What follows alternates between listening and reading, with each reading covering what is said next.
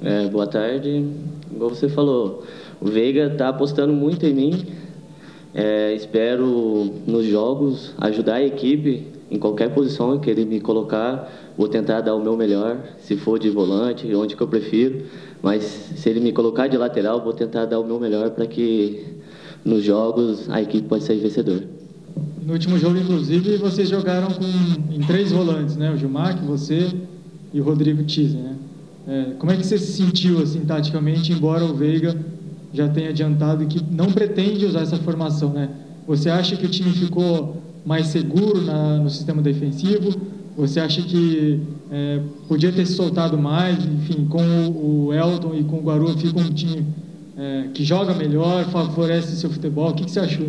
É, com o terceiro volante, eu tenho que me solta um pouco mais, né? Como aberto ali pela esquerda. E eu prefiro jogar mais atrás, que é onde eu pego mais na bola para tocar a bola melhor, chegar mais no ataque, eu prefiro vir mais de trás. Então, agora com o Elton aberto é melhor que o passe, o passe como o dele, o do Guaru é bem melhor. Então, dá para fazer um dois, chegar no Nunes mais, mais fácil. Você falou desse, dessa, dessa vontade sua, dessa posição que você sente melhor, que é chegando de trás, é, meio que de surpresa para o adversário, né? É, tanto é que em alguns, em alguns treinos que a gente, treinos que a gente viu aqui, é, você fazendo muitos gols, inclusive vindo de trás, até seus próprios companheiros não imaginavam isso, mas logo no comecinho da preparação. Você vê que você é o coringa desse time do Botafogo, você pode surpreender muita gente nessa Série D? Com certeza, estou aqui para isso, né? Surpreender muito, poucos me conheciam, estou, e o Veiga depositou essa confiança em mim, e não onde que eu prefiro jogar mais atrás, eu, onde que eu chego mais, onde que eu pego mais na bola, onde sempre sobra a bola para mim, espero ajudar a equipe da melhor maneira possível. A gente estava comentando aqui antes de começar a entrevista que você estava na Matonense e não tinha entrevista coletiva, não tinha muitas câmeras, enfim, era uma vez ou outra na semana e só quando ganhava.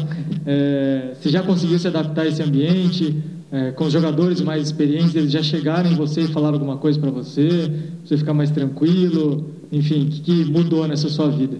É, lá você falou, na Matonense, quando ganhava, de vez em quando aparecia a IPTV, mas era raro. É, os caras ainda me zoam ainda desde a primeira entrevista, né? Mas agora eu estou me soltando mais, agora estou um pouquinho mais, conversando um pouquinho mais com as pessoas, tentando adaptar essa vida nova. Agora a gente quer saber o que, que o pessoal falava para você. Eles brincavam, principalmente o Jardel, o Canelo, me zoavam, me... eu estava muito nervoso aquele dia, mas de pouquinho em pouquinho vou me soltando mais e, se Deus quiser, eu vou conseguir render o que espero por mim. O que o Veiga tem falado para você, Pituca? Por exemplo, é... foi uma mudança assim, para a gente é uma pequena mudança, mas eu imagino que dentro de campo é uma mudança muito grande, né? Você atuar de volante de meia. É, o que, que o Veiga passa para você? Assim, ele é bem didático, ele é ele é bravo, enfim, o que, que ele transmite para você? Ele sempre dá uma tranquilidade para todo o grupo, não só para mim, né? Aí, no, na semana dos jogos, ele me falou que ia me colocar como aberto para fazer uma experiência. Falou para mim jogar tranquilo, fazer o que eu sei de melhor, que é o passe, chegar mais na área também, que ele cobra muito de mim, e acertar os passes. Tuca, só para fechar, você falou Guaçuano, Mineiro, aí agora essa passagem sua na Matonense até chegar ao Botafogo.